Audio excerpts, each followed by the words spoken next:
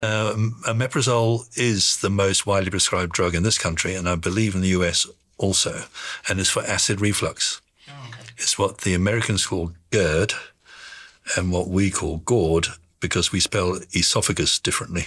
So we spell esophagus with an OE and Americans spell it with an E. So it's either GERD or GORD depending on which country you're in. And that means gastroesophageal reflux disease, GORD. And acid reflux is a real issue with a lot of people. And they find that when they go to a doctor, the doctor will routinely prescribe omeprazole or something like it and GORD is actually diagnosed by, as a condition which is made better by omeprazole. I mean, it's literally it's a disease that is diagnosed by the treatment.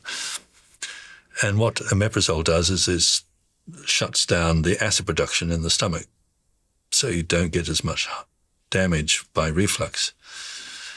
The problem is is that the acid's doing a job. It's sterilizing your food which is important, isn't it?